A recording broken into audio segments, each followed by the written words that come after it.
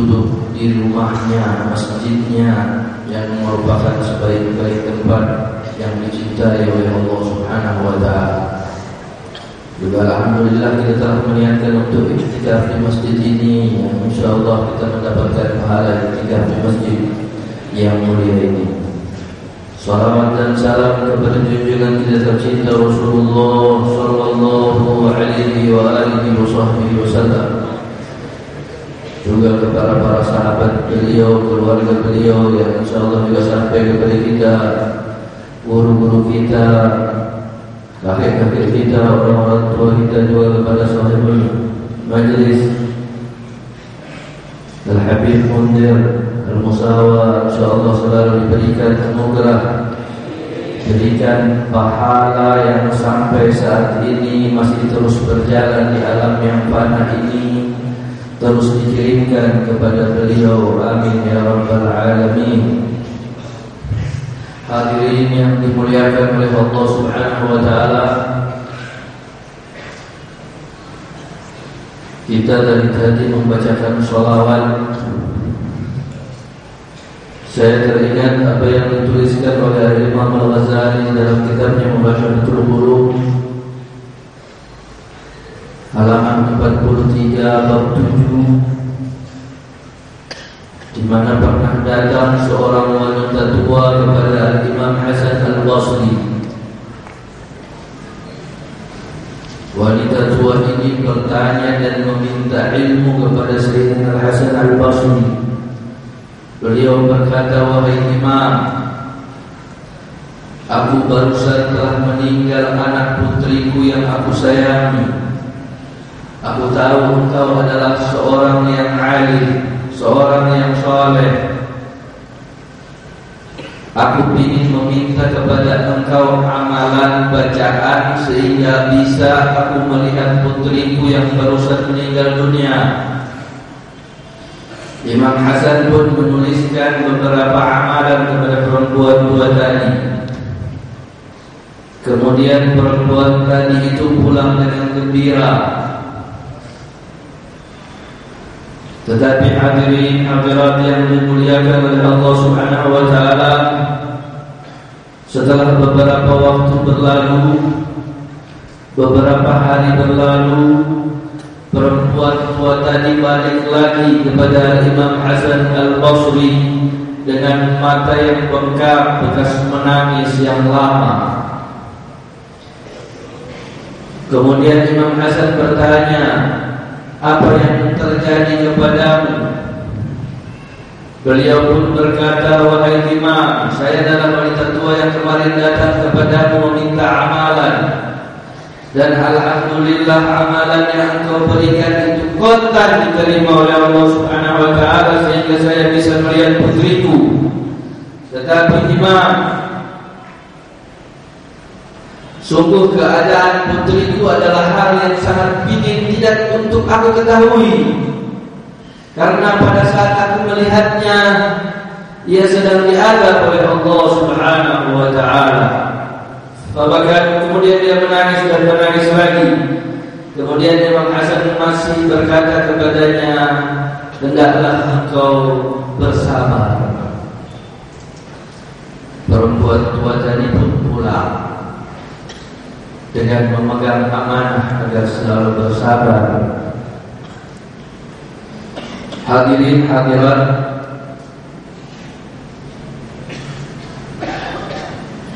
Yang terjadi berikutnya adalah Imam Hasan Al-Basri yang melihat wanita muda dalam mimpinya. Kemudian wanita muda tadi yang tentunya tidak dikenal dia oleh Imam Hasan Al-Basri, tapi dia mengenal Imam Hasan Al-Basri. Kemudian dia menegur Imam Hasan Al-Basri, "Apakah engkau tidak mengenalku?" Jika Imam Hasan Al-Basri melihat seorang wanita muda dalam mimpinya tidur Kemudian wanita muda tadi menegur Imam Hasan yang berkata Apakah engkau tidak mengenalku? Saya tidak mengenalmu, siapa engkau? Saya adalah anak wanita tua yang datang kepadamu meminta amalan dan amalanmu langsung korban diterima oleh Allah Subhanahu wa taala sehingga bisa bisa melihatku sedangkan aku dalam anak. Lantas apa yang membuatmu berada dalam nikmat Allah memakai mahkota yang sangat luar biasa dari cahaya? Menjelaskan wanita muda tadi, hadirin hadirat yang dimuliakan oleh Allah Subhanahu wa taala. Wahai imam, ada seorang laki-laki lewat di atas pekuburan. Sedangkan di dalam kubur itu jumlah kita yang sedang diadab berjumlah 550 orang dan orang laki-laki yang lewat Marwabina itu hanya membaca salawat kepada baginda Rasulullah sallallahu alaihi wasallam satu kali. Allahumma salli ala sayyidina Muhammadin wa alihi wa sahbihi wasallam. Dia membacakan salawat kepada baginda Rasulullah sallallahu alaihi wasallam satu kali dengan hati yang dipenuhi kecintaan kepada baginda Rasulullah wasallam dan dia melewati kuburan di dalam kuburan itu ada 550 orang yang sedang diadab oleh Allah Subhanahu wa taala. Salawat pemuda tadi didengar oleh Allah. Kemudian Allah berkata kepada malaikat yang sedang menghadap 550 orang agar menghentikan adabnya dan memberikan maghfirah kepada mereka yang berjumlah 550 orang. Subhanallah. Satu salawat dari seorang laki-laki diterima oleh Allah kemudian Allah memindahkan 550 orang yang sedang diadab ke dalam maghfirahnya ke dalam ampunannya ya Allah kami dari tadi telah duduk di sini dan umur kita pun ada yang 10 tahun, 20 tahun, 30 tahun, 40 tahun, 50 tahun membacakan salawat kepada baginda Rasulullah sallallahu alaihi wasallam juga masya Allah pendiri daripada majelis ini ya Habib Mundir selalu membacakan salawat kepada baginda Rasulullah Sallallahu Alaihi Wasallam. Insya Allah kita bisa mendapatkan syafaat dari baginda Rasulullah. Insya Allah kita bisa mengucapkan kalimat tauhid pada akhir hayat kita.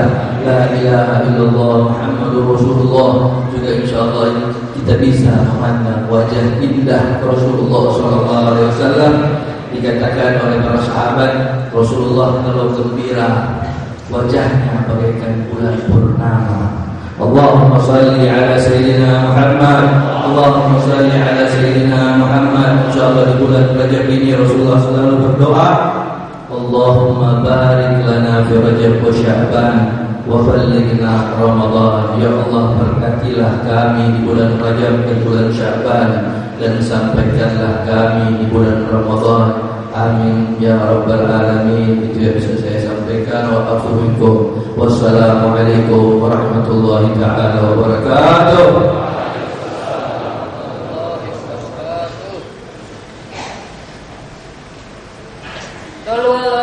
محمد.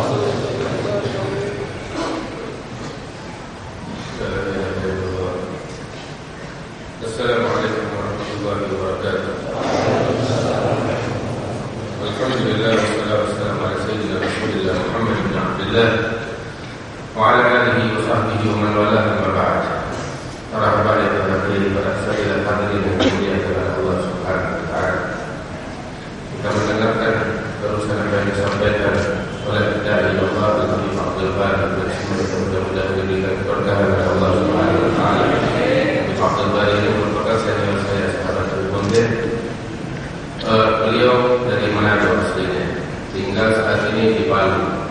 tempatnya Al-Khairat Habib Idrus bin Salim Al-Jufri beliau pertama dari daerah sana. Kemudian sengaja tiap tahun datang ke Jakarta duduk di sini di Jakarta sekitar dua minggu untuk menghadiri pembacaan Sahih Al-Bukhari di Bintan dan di beberapa tempat yang lain. Mudah-mudahan kehadiran beliau dikabulkan oleh Allah Subhanahu wa taala. Dan kita semua yang ada di sini mendapatkan keberkahan dari Imam Al-Bukhari dari Jalur Hadis Nabi Muhammad sallallahu alaihi. Hadirin yang dimuliakan oleh Allah. Ini hari Senin pertama daripada bulan suci Rajab.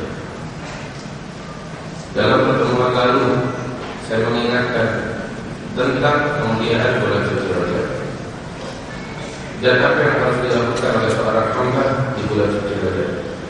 Di antaranya kita dianjurkan untuk berpuasa di beberapa waktu tertentu dan pahalanya besar di sisi Allah Subhanahu wa taala. Sebagaimana juga istighfar kita dianjurkan untuk memperbanyaknya di bulan Rajab yang suci ini sehingga kita makan bulan Rajab ini sebagai syahrul istighfar, bulan memohon pengampunan dari Allah Subhanahu wa taala. Dan banyak lagi amalan-amalan Yang mana semua itu adalah persiapan kita Menyambut kedatangan bulan suci Ramadan Yang mudah-mudahan kita semua mendapatkan yang diberikan pada Allah Kemudian juga keistimewaan bulan suci Rajab ini adalah di bulan ini adalah bulan Isra dan Mi'raj yang baginda besar Nabi Muhammad SAW. Peristiwa yang agung peristiwa yang diabadikan oleh Allah di dalam Al-Quran. Sehingga Allah menyatakan Subhanalladzi asra bi'abdihi laylan min al-masjidil haram ila al-masjidil aqsa alladhi barakna hawlahu linuriyahu min ayatina innahu huwa sami'ul basir. Maha suci Allah. Allah.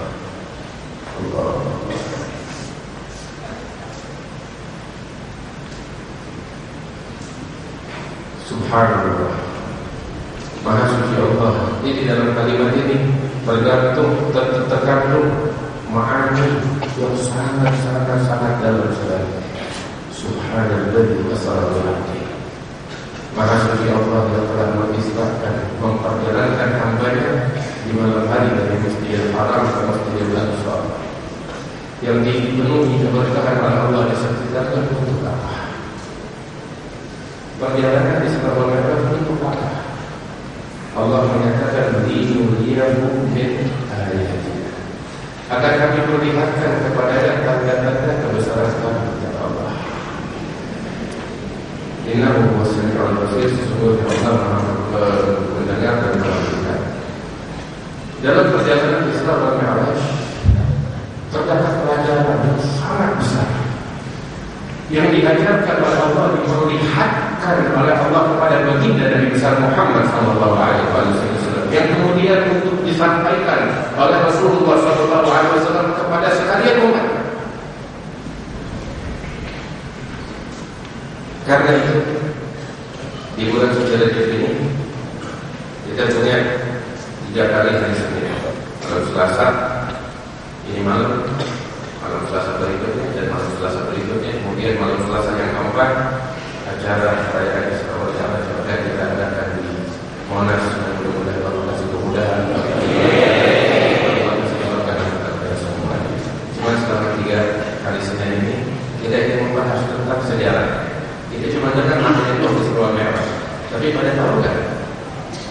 sejarahnya sejarah tapi malu kalau kita tahu sejarah artis. Kita belajar di sekolahan sejarah kemerdekaan Indonesia boleh bagus. Sejarah pahlawan pahlawan boleh bagus. Tapi yang lebih patut kita belajar dari kita itu semua sejarah kehidupan dari Nabi Muhammad SAW sebab dengan mempelajari sejarah kehidupan Rasulullah keimanan akan kokoh di dalam hati kita. Jangan kita Nabi besar Muhammad Sallallahu Alaihi Wasallam manusia yang sempurna keimanannya. Allah Subhanahu Wa Taala menceritakan kepada beliau tentang kisah-kisah para nabi-nabi yang terdahulu. Setelah diceritakan oleh Allah secara terperinci kisah nabi-nabi yang terdahulu, apa Allah katakan kepada Rasulullah Sallallahu Alaihi Wasallam? Allah katakan wa kullan nabussu 'alaika min akhbaril rusul ma nusabbitu bihi Dan semuanya telah kami ceritakan kepada ya Muhammad tentang kabar mereka para utusan-utusan. Untuk apa? Itu semua untuk mengokohkan hatimu di dalam keimanan kepada Allah Subhanahu wa. Itu Nabi Muhammad. Keimanan yang sempurna bertambah sempurna lagi dengan diceritakan kisah para utusan Allah Subhanahu wa. Kayak kita banyak dengar sekarang yang kita pelajari pemimpin daripada para utusan yaitu Nabi Muhammad sallallahu alaihi wasallam. Sehingga diriwayatkan tentang kisah Isra wal Mi'raj di berbagai macam hadis. Syekhna Al-Imam Muhaddits Al-Haramain wa Mafkhar Al-Qawmain Muhammad bin Ali Al-Maliki di dalam kitabnya Waqfu bil Ufuq Al-A'la beliau membawakan hadis-hadis Rasulullah Sallallahu Alaihi Wasallam yang menceritakan tentang peristiwa Isra Mi'raj. Lebih dari 20 sampai 30 hadis lebih menceritakan secara terperinci. Dan juga para ulama lainnya banyak di antara mereka yang merangkumnya jadi satu buku. Beberapa dari mereka yang dengan bentuk syair, beberapa dari mereka dengan bentuk pujian yang indah untuk Rasulullah Sallallahu Alaihi Wasallam di antaranya di dalam fasal Maulid Sintud Durar ungkapan yang sangat-sangat indah diungkapkan oleh Nabi Ali bin Muhammad al-Habashi tentang peristiwa wal Mi'raj yang Nabi besar Muhammad sallallahu alaihi wasallam. Sebagaimana Al-Imam Abdul Rahim Al-Qura'i seorang wali besar di zamannya Betapa banyak syair-syair yang beliau tulis tentang peristiwa Isra Mi'raj baginda besar Nabi Muhammad wasallam. Itu semua dilakukan untuk apa? Gimana? Agar makin berkembang di dalam hati seseorang di akhirat. Insya Allah di malam-malam ke depan kita akan membahas tentang sejarah Isra wal Mi'raj secara terperinci. Guru kami Sayyid Muhammad bin Abdul Maliki beliau mengarang satu kitab Bagaimana Imam Al-Barzanji juga mengarang kitab tentang kisah Isra wal Mi'raj yang biasa dibacakan di Empang Bogor tiap hari Kamis terakhir bulan Rabiul. Dalam karangan yang dikarang oleh Nabi Muhammad bin Ali Maliki yaitu Al-Anwar Wahiyah bin Islam wa Mi'raj Khair Bariyah Beliau merangkum hadis-hadis yang diriwayatkan tentang peristiwa Isra Mi'raj menjadi satu kisah yang panjang. Insya Allah kita bakal bahas hal yang penting Kalau bahas semuanya kan waktunya nggak cukup. Tapi insya Allah pelajaran-pelajaran penting yang Allah katakan di dalam Al-Quran Yang Allah perlihatkan kepada Nabi Muhammad SAW Pertama-tama yang harus kita ketahui bahwasanya benar ada terjadi suatu peristiwa yang agung yaitu peristiwa Isra Mi'raj. Perjalanan di malam hari dari Masjidil Haram ke Masjidil Aqsa. Dan kemudian perjalanan Mi'raj yaitu dari bumi naik ke langit hingga Muhammad sallallahu alaihi wasallam menghadap kepada Allah. Dan ini semua diceritakan oleh Allah di dalam Al-Qur'an sehingga tidak ada lagi yang bisa membantahnya. Sebab keimanan seseorang kepada Allah nggak dianggap kalau dia tidak beriman dengan peristiwa di surah Al-Mi'raj. Sebagaimana juga diriwayatkan hadis hadis-hadis yang sangat banyak hingga mencapai derajat dan tawatir. Itu hadis mereka bisa dibantahkan lagi tentang benar terjadinya Isra wal Mi'raj. Kemudian para ulama berbeda pendapat. Kapan terjadinya? Kejadiannya betul ada namanya Isra wal Mi'raj. Tapi kapan berbeda pendapat. Beberapa yang mengatakan ini dan itu, beberapa mengatakan di Rabiul Awal, dan beberapa yang mengatakan di bulan Ramadan. Tapi sebagian besar pendapat menyatakan terjadinya pada bulan suci Rajab. Setelah wafatnya Abu Talib Rasulullah Shallallahu Alaihi Wasallam setelah wafatnya Sayyidatina Khadijatul Kubra istri ketiga Rasulullah Shallallahu Alaihi Wasallam dan setelah kembalinya Nabi besar Muhammad dari Taif. Sebagai besar ulama berpendapat demikian. Kemudian di tanggalnya mereka pun berbeda pendapat namun pendapat yang terkuat mengatakan pada tanggal pada malam 27 Rajab terjadi peristiwa Isra Mi'raj yang bagi dari Nabi Muhammad Sallallahu Alaihi Wasallam. Ya Allah mudah-mudahan yang pada bawa pulpen ya buku tulis catat dijadikan Allah sebagai ulama amili. Ini ada beberapa yang pada bawa pada tulis. Kita mencari susah. Begini ya. Ya, mudah-mudahan Allah memimpin kita di jalan yang baik. Suatu malam Yaitu pada malam 27 tersebut Nabi besar Muhammad Sallallahu Alaihi Wasallam di tengah malam sedang tidur. Di dalam riwayat beliau tidur di hijab Ismail di samping Ka'bah. Saat itu Nabi Muhammad Sallallahu Alaihi Wasallam sedang tidur. Di samping beliau adalah Sayyidina Hamzah dan di samping satunya lagi adalah Sayyidina Ja'far dan Abi Nabi Muhammad Kemudian datanglah Malaikat Jibril, Malaikat Mikail dan Malaikat Israfil. Saat itu Nabi Muhammad dibawa dan dibalikkan di samping sumur zam-zam oleh para malaikat. Saat itu dibelah dada beliau dan dikeluarkan hati beliau dan disucikan dengan air zam-zam. Nabi besar Muhammad Shallallahu Alaihi Wasallam dibelah dada beliau untuk disucikan hatinya selama hidupnya terjadi beberapa kali. Menurut pendapat yang kuat terjadi empat kali dan salah satunya adalah pada saat sebelum Isra wal. Satu hal yang harus kita ketahui. Dada Nabi Muhammad Shallallahu Alaihi Wasallam dibelah dan dikeluarkan hatinya disucikan bukan hatinya hati beliau kotor. Al Imam Al Habib Ali bin Muhammad Al Hafiz menyatakan, "Wa ma akhrajal amlaku min darbihi adam walakinnahum zadu tuhran ala Para malaikat tidak pernah mengeluarkan dari hati Rasulullah Sallallahu Alaihi Wasallam kotoran sedikit pun, akan tetapi mereka menambahkan kesucian di atas kesucian. Ini yang dilakukan oleh para malaikat. Sebab beliau dari awal manusia yang paling suci di alam semesta. Sallallahu Alaihi Wasallam.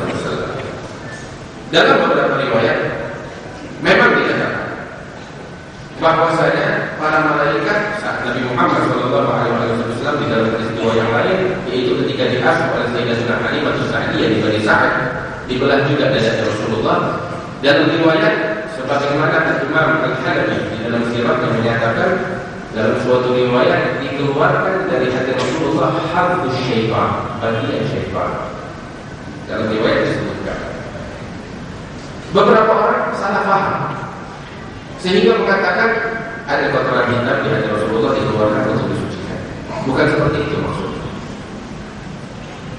Seorang ulama besar di kota Hadramaut, guru daripada Imam Al-Qutub Al-Habib Ali bin Abdul bin Syihab, yaitu Imam Al-Arif bin Al-Habib Abdullah bin Idrus Al-Idrus, pemimpin para awliya di zaman.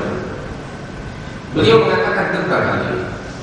Yang dimaksud dengan harbu syaitan Kalimat hak adalah bagian syaitan. Dalam bahasa Arab artinya begini. Apa maksudnya? Kita harus tahu syaitan iblis dari sejak awal dilaknat oleh Allah Subhanahu wa taala. Putus asa dari rahmat Allah.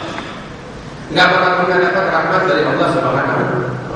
Kita tahu itu semua sepakat. Al-Qur'an Makanya kita bilangnya syaitan dan rajim. Tahu artinya rajim? Yang boleh diputuskan dari rahmat Allah. Ada syaitan. Terus ada urusan dengan Nabi Muhammad SAW. Nabi Muhammad Sallallahu Alaihi Wasallam Allah ciptakan adalah sebagai kasih sayang yang murni dengan arti kata yang sesungguhnya. Sehingga beliau adalah lambang kasih sayang Allah. Hingga beliau sendiri menyatakan anak Muhammad Muda, aku adalah rahmat yang dihadiahkan oleh Allah untuk alam semesta. Hingga di dalam ayat kita baca bil mu'minina raufun diberikan ini gelar oleh Allah untuk Nabi Muhammad rauf rahim. Dan ayat yang lain Allah juga menyatakan wa ma arsalnaka illa rahmatan lil alamin. Kami tidak mengutus melainkan rahmat untuk alam semesta. Kita setuju dengan hal ini. Nah, cuma bagian dari alam semesta juga syaitan kan? Syaitan juga bagian dari alam semesta. Kalau dia berputus dari rahmat Allah. Cuma yang jadi masalah di sini Nabi Muhammad rahmatnya kasih sayang yang meliput alam semesta termasuk syaitan. Nah ini yang dikeluarkan dari hati Rasulullah Bukan orang Tapi bagian Kasih sayang Rasulullah Untuk syaitan Itu yang dikeluarkan dari hati Rasulullah SAW Jadi bukan orang Tapi Rahmat yang lebih meluber Dari hati Rasulullah Itu yang dikeluarkan sedikit Sehingga syaitan memang betul-betul putus rahmat Dari Allah Subhanahu Wa Taala. Makanya benar yang dinyatakan di Al-Hakim wa ma akhrajal amla min qalbihi ada walakin uzadu turanatu mereka tidak keluarkan para malaikat itu dari Nabi Muhammad kotoran sama sekali. Melainkan mereka tambah lagi suci di atas kesucian La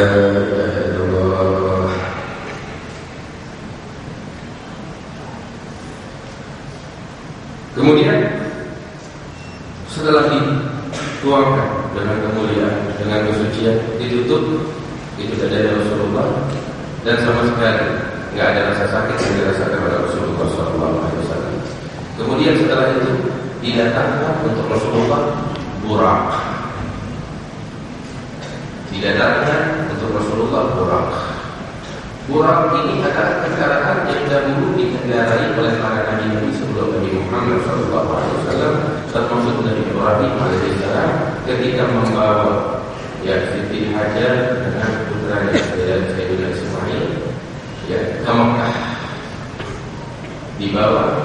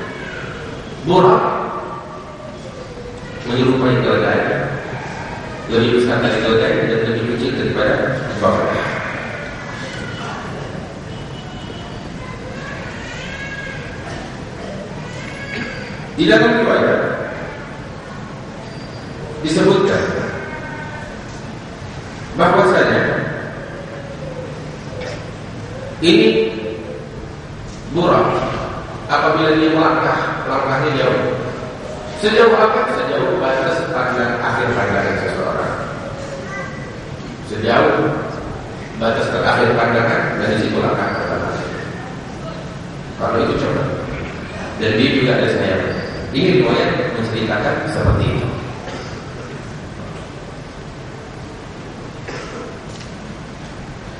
La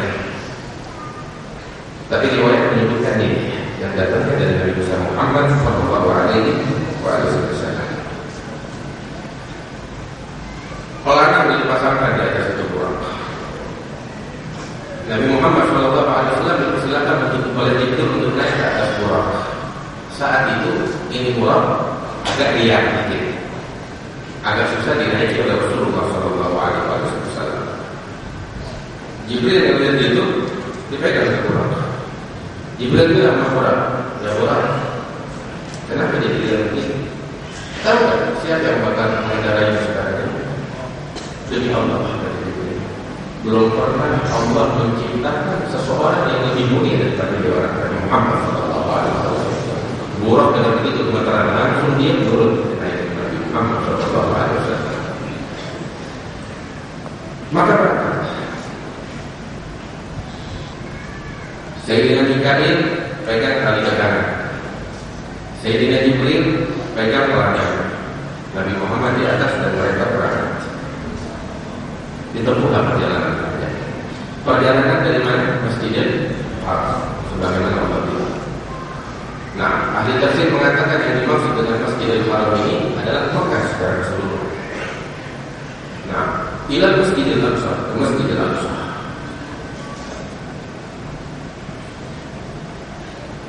Itu perjalanan ditempuh dari Masjidil Haram ke Masjidil Aqsa naik ke langit lagi ke ke Mekah rumahnya Rasulullah Sallallahu Alaihi Wasallam. Al-Imam Al-Qayyim ketika menceritakan secara ringkas peristiwa ini, beliau bilang, "Summa al-hudu min al-'arsh." Qabla an yakuna al-farsh. Wa mana jadi al-ma'ad. Imam Al-Qayyim menceritakan Nabi Muhammad dikembalikan dari langit ke Mekah. Itu kasur beliau masih ada. Kasur beliau masih hangat. Nanti dulu sekarang di sini bangun berasa kan kepada dunia kan? Tapi berapa lama hangat kan? Gak lebih dari dua menit. Ya itu dikatakan masih hangat. Nabi Muhammad kembali dari Eropa. Perjalanan mujizat. Ngomong nggak dari Akal nggak sampai ke sini. Kalau akal sampai ke situ, ini bukan mujizat. Ini karena mujizat dari Allah Taala di Quran. Perjalanan dari Masjidil Haram ke Masjidil Aqsa. Di perjalanan Nabi besar Muhammad Shallallahu Alaihi Wasallam nggak langsung pergi ke Masjidil Aqsa, tapi keliling-keliling dulu diajak ke Jibril. Keliling ke mana? Nggak kita akan tahu. Dan kenapa dia ada keliling dari mana? Padahal bisa aja langsung Masjidil Aqsa, sholat di malam para Nabi, terus naik ke langit dari Allah turun lagi selesai ya. Tapi enggak. Transitnya banyak banget. Berhentinya banyak banget. Di mana pertama dia berhenti? Ketika menempuh perjalanan, Sayyidina Jibril ya mengatakan kepada Nabi Muhammad Wasallam ketika sampai di satu tempat dipenuhi dengan pohon korma yang sangat banyak. Terus itu tempat ada beberapa gunung yang terang bercahaya, tenang itu tempat hingga detik ini. Dan setiap orang yang datang ke situ akan merasakan kenikmatan ketentraman yang luar biasa. Dan ketika menyaksikan itu gunung yang bercahaya pasti cinta itu. Hingga detik ini. Dia akan situ ke Jibril. Tempat apa? Itu sampai kami di situ. Jibril bilang yang Muhammad inzil. Kau Turun yang Muhammad sholat di sini. Nabi sholat. Enggak basa-basi. Enggak apa namanya? Enggak banyak tanya ke Jibril. Apa disuruh? Dia nurut. Sholat di situ. Lepas sholat, suruh naik lagi pulang. Lanjut lagi perjalanan. Nabi enggak nanya. Taslim. Penyerahan secara keseluruhan kepada Jibril. Maka Jibril yang mulai Nabi Muhammad. Ya Muhammad. Ada dia yang sholat. Yang Muhammad tahu kan? Engkau barusan sholat di mana? Nabi nanya, lah, di mana Jibril? Jibril bilang, Salli dari Taibah wa ilaiha muhajir. Barusan kau sholat mana? Taibah. Tahu Taibah? Taibah itu nama lain atau nama daripada kota Madinah tempat hijrah dari Muhammad Sallallahu Alaihi Wasallam. Jibril bilang, barusan kau sholat di Taibah kota Madinah. Wa ilaiha muhajir dan kau akan hijrah itu. Ya Allah sampaikan kita itu. Dan terus terang saya katakan, tiap orang yang datang ke depan itu maka merasakan ketentraman. Ketentraman yang bakal dia dapat itu sama saya. Kebahagiaan, kegembiraan, lupa segala urusan dunia. Ketika melihat itu gunung yang bercahaya atau gunung apa? Gunung Uhud. Nabi waktu datang dari peperangan Tabuk yang nyambut beliau begitu sampai di Medina itu gunung Uhud gunung Uhud yang bercahaya. Nabi bilang Uhud, ya balun kekepul wa nuhibbu. Ini gunung Uhud adalah gunung yang cinta kepada kami dan kami pun cinta dan setiap orang beriman kepada cinta. Allah Allah. Lanjut perjalanan. Ketika lanjut perjalanan, Jibril bilang Nabi Muhammad, ya Muhammad turun, salat, salat di. Di mana? Di bawah satu pohon. Pohon besar, pohon besar. Di sini. Gak banyak ngomong. Nabi gak bilang, ya Jibril, ini hukumnya sih kita gak ada salat di bawah pohon ini. Nabi gak ada gitu gitu. Nurut aja udah. Salat di sini. Lepas sholat, ayo jalan. Nabi nggak tanya. Terus Jibril bilang ke Rasulullah, ya Muhammad, ada dari yang salat. Ya Muhammad tahu nggak barusan kau sholat di mana? Lah saya kata. Jibril bilang, sholat dari bagian ini syajarat Musa. Allah. Engkau barusan sholat di negeri Madian. Itu pohon apa? Pohon tempat tertentunya dahulu Nabi Musa alaihissalam. Kenapa Nabi disuruh sholat di bawah pohon? Nabi Musa berteduh di tempat lama? Setahun dia tinggal di bawah pohon. Nah, sesaat lari saat masih muda sebelum dilantik oleh Allah sebagai utusan Allah sebagai Nabi lari dari kerjaan Fir'aun pergi ke Madinah saat itu dia berteduh saat sampai di Madinah berteduh di bawah pohon yang dia di pagi hari dilihat orang-orang dengan badan ngambil air. Lihat di ujung ada dua orang perempuan ada kakak mau ngambil air tapi mereka mundur jauh menjauh dari orang-orang lagi. Nabi Musa menghampiri mereka. Ada apa tadi? Kami yang mau ngambil air tapi malu di situ banyak orang lagi. Maka Nabi Musa yang mengambil air itu. Tuh lihat keadaan perempuan-perempuan suci kayak begitu. Wahai hadirat, wahai hadirin hadirat. Jadi bisa diceritakan oleh Allah supaya jadi panutan pada wanita-wanita kita.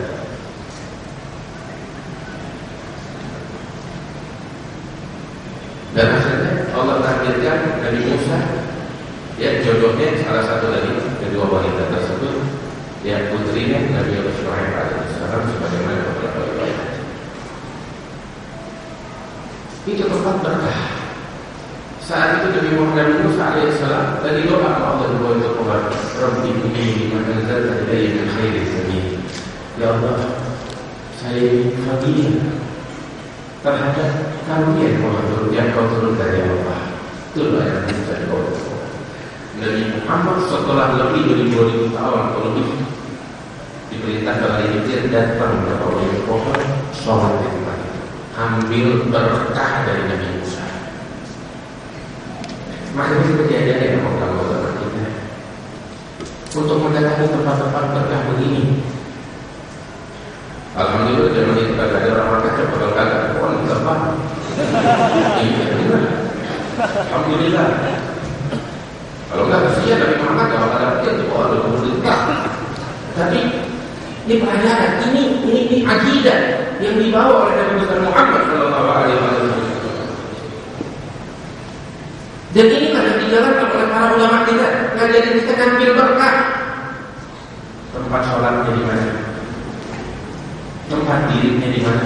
Tempat duduknya di mana? Ambil keberkahan dari para awliya Allah para sholihin kekasih kekasih Allah. Apa sih keberkahan yang kurang dari Rasulullah. Beliau sumber segala keberkahan Nabi Musa tidak ada apa-apa dibanding Nabi Muhammad Shallallahu Alaihi Wasallam. Tapi lihat Nabi Muhammad diceritakan ambil berkah dari Nabi Musa. Sebab orang yang punya iman yang penuh gak bakal merasa syukur. Siapa yang lebih mulia dari Sayyidina Umar daripada Sayyidina Ali? Bin Abi? Tapi Nabi pasarin sama Sayyidina Umar sama Sayyidina Ali. Ya Umar, ya Ali, cari yang namanya Uwais al-Ghazali. Uwais al-Ghazali seorang tabi'in, enggak ketemu sama Nabi. Tapi bakti sama ibunya, pengen jumpa sama Nabi, tapi dia tinggal di ibunya. Dia tidak berada tinggal di. Ibu usia ibunya sampai meninggal Rasulullah SAW. Nabi sebutnya. Dan pesan Sayyidina Umar, Sayyidina Ali, ya Umar, ya Ali cari dia. Kalau kau ketemu dia, sampaikan salam kepadanya. Dan engkau, ya Umar, ya Ali, minta doa sama gue sebelum. Bukan artinya gue lebih mulia dari dari Umar dan dari Sayyidina Ali dari Sayyidina Umar. Enggak. Sayyidina Umar, Sayyidina Ali siapa yang lebih mulia dari mereka? Mereka manusia-manusia pilihan Allah yang dipilih untuk mendampingi Rasulullah. Tapi begini ajaran Allah. Begini ajaran Nabi besar Muhammad Shallallahu Alaihi Wasallam. Ngambil berkah, ngambil manfaat dari siapa pun, gak pandang bulu. Mau dia di atas kita atau di bawahnya. Sebab setiap orang beriman sadar kalau diri adalah hamba di hadapan Allah. Terus lagi perjalanan. Begitu lanjut perjalanan,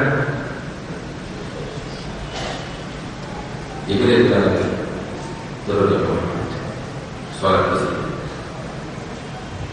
di atas tubuh Atau satu gunung Sholat. Kita banyak ngomong Lepas sholat Lanjut lagi perjalanan. Dari atas bukit itu kelihatan Bangunan-bangunan yang ada di Indonesia. Jibril nanya Muhammad tahu tak kalau sana sholat di mana? Rasul Shallallahu Alaihi Wasallam saya tahu Jibril bilang itu adalah Tursina bukit Tursina tempat dahulu Nabi Musa bermunajat kepada Allah Subhanahu Wa Taala. Sholat di situ ambil berkah. Masya Allah. Lihat, lihat. Padahal Nabi Muhammad jauh lebih berkah daripada Nabi Musa. Dan Nabi Musa bermunajat kepada Allah di atas bukit. Itu waktu itu Nabi Muhammad kepada Jibril untuk munajat kepada Allah bukan di atas bukit, di atas langit, di atas Sidratul Muntaha, di tempat yang belum dimasukkan oleh Jibril sama Nabi Nabi mana. Lebih agung daripada Nabi Musa. Tapi walau demikian, Allah merintahkan Jibril untuk ajak Nabi Muhammad berkah dari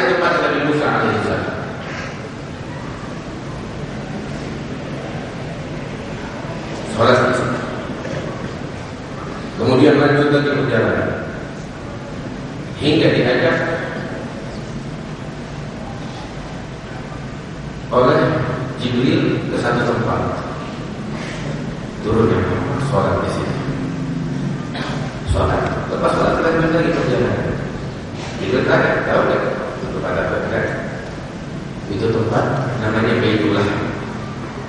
Apa namanya? Baitullah. ibu tidak bisa tempat di mana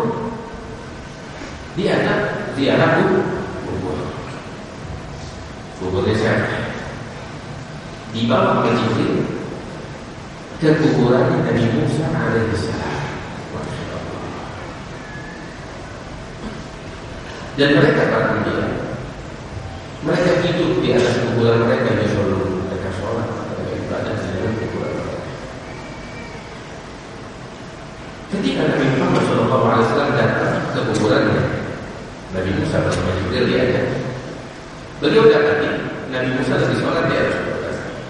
Saat itu Nabi Musa lagi bermunajat. Allah. Dalam munajatnya diriwayatkan. Nabi Musa bilang dalam munajatnya di atas dia sholat. Dia bilang ya tak wa faddal Ya Allah kau muliakan Engkau angkat dari dunia Itu munajat Nabi Musa. Dalam sholatnya di atas Tidak lama Nabi Muhammad Jibril menjawab salah, Nabi Muhammad juga menjawab Cuma Nabi Musa itu orangnya tahu nggak basa-basi ngomong, ngomong apa yang dari,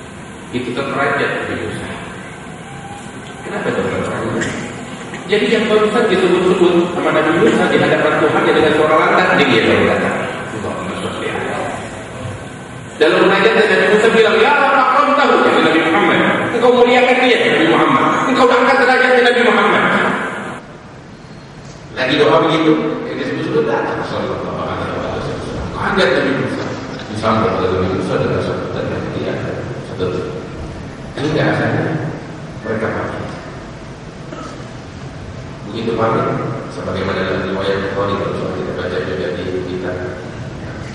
Nabi Musa nangis.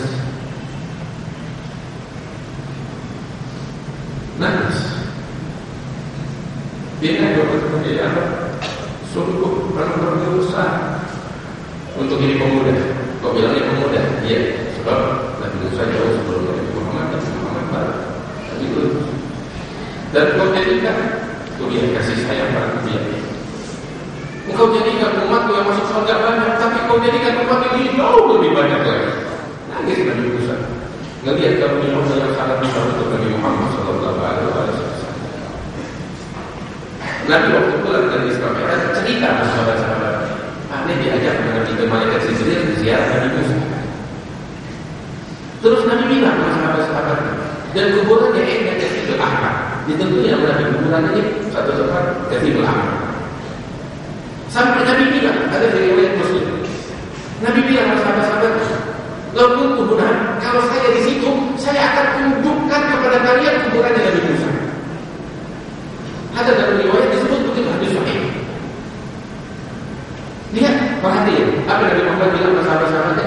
Kalau aku di situ saat itu, aku akan, dia bilang ke sahabat-sahabatnya, apa yang Nabi bilang? Aku bakal hancurin kuburan. Bin akhir, memang Tapi Nabi bilang ke sahabat-sahabatnya, kalau aku di situ, aku akan tunjukkan kepada kuburannya Nabi Musa. Maka apa ditunjukin? Maka dikatakan di tanah. Bahkan apa Nabi Muhammad tunjukin para sahabat-sahabatnya kuburan Nabi Musa? Jawab sendiri, kita tahu apa jawabannya. Supaya didatangi yang diziarahin ke kuburan. Kalau memang nggak boleh diziarahin, nggak boleh tunjukin kepada Nabi. Cuma saat itu masalah yang sangat jauh sekali dari Madinah sama apa, apa, apa namanya ke Baitul Maqdis. Cuma Nabi katakan itu, kalau aku di sana, aku akan tunjukkan kepada kalian ke kuburan Nabi. Jadi perjalanan Israel Mi'raj salah satu tujuannya adalah perjalanan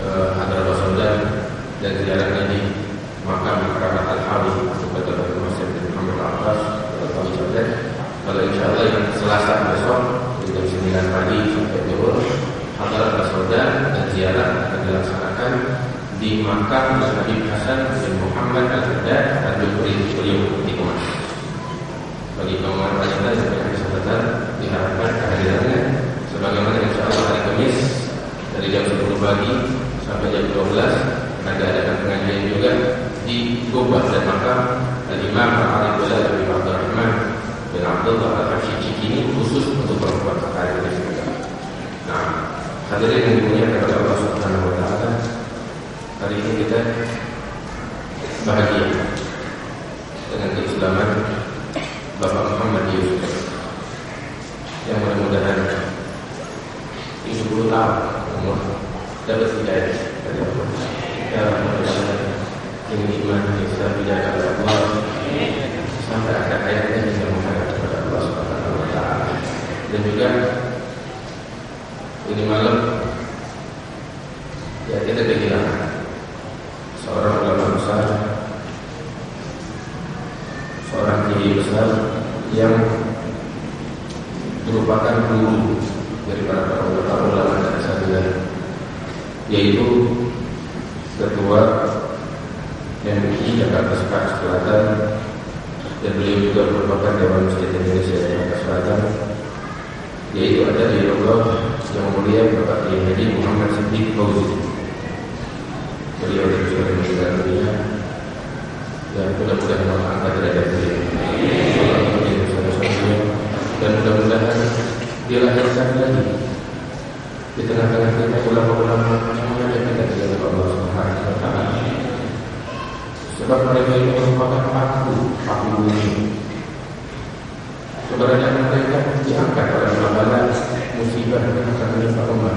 Imam Al-Haddad mengatakan begini, Ya wa yakfi berbalaya, wa yusbi kulla khairin wa Dengan berkat mereka bala, diturunkan rahmat oleh Allah. Kalau bukan keberadaan mereka para ulama, para ulia, para salihin, di Allah gara-gara kemaksiatan yang siang malam naik terus ke langit. Tapi sekarang mereka dibantu oleh Allah. Mudah-mudahan diperbanyak lagi oleh Allah manusia-manusia yang fatwa ulama-ulama yang dinilai oleh Allah Subhanahu wa taala, orang-orang yang mulia di sisi Allah Subhanahu wa taala. Dan terus beliau terkenal dengan kecintaan kepada keluarga Nabi Muhammad sallallahu alaihi wasallam. Kecintaan yang luar biasa yang mendalam.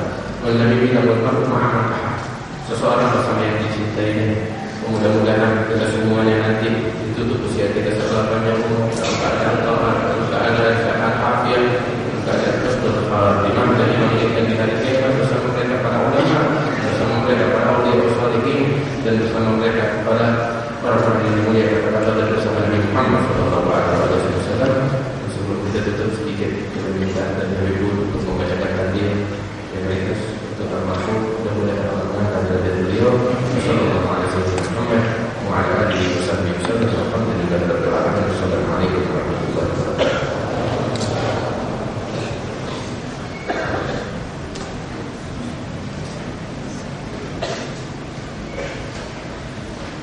أفضل الذكر بعد من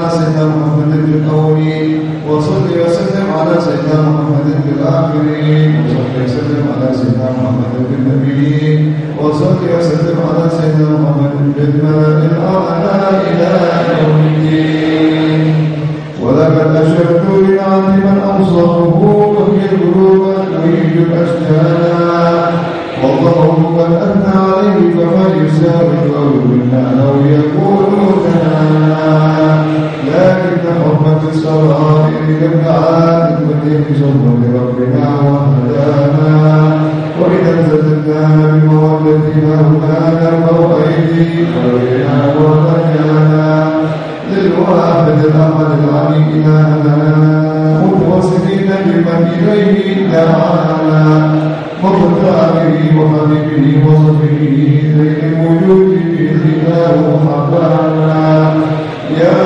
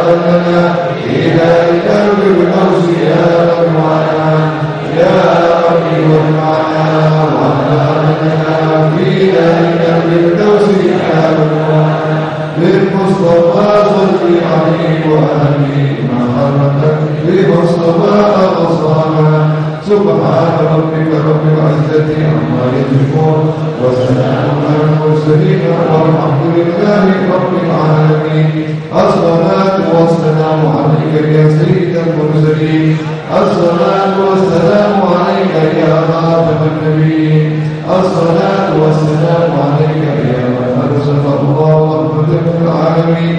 ورضي الله تعالى عن أصحاب رسول الله أجمعين. آمين.